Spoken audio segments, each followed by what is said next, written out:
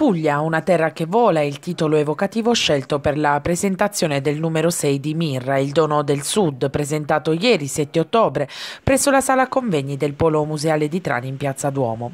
Relatori nella presentazione guidata da Giannicola Sinisi, Alfonso Centuori, Umberto De Agustinis, Ruggero Inchingolo, Roberta Lucchini, Giorgio Salvatori e Francesco Serra di Cassano.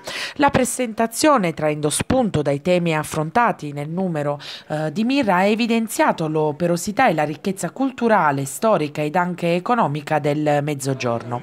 Il titolo della presentazione può essere letto in due sensi, quello letterale e quello evocativo. Il senso letterale non può che rimandare al distretto aerospaziale pugliese perché il territorio è stato centro nevralgico per lo sviluppo di questo importante settore industriale. Il senso evocativo invece rimanda a tutte le altre importanti caratteristiche di un territorio storico storia e tradizioni in primis.